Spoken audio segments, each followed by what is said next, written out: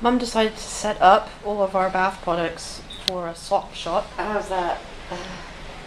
and she's taking a picture of the sock shop. But I want to see what you. I want you to see what she's doing. She's standing on a chair on our balcony, 14 stories up in the middle of the Atlantic Ocean, with a gin and tonic, taking a picture of a sock. I swear the sock is in there. The sock is having spa There. treatment. Sp- Sock's having a spa day today, apparently, out on the balcony. Uh, yes. Oh well. That was Mum for that. Thanked Leslie for that. S- Uh, spa and gin and tonic.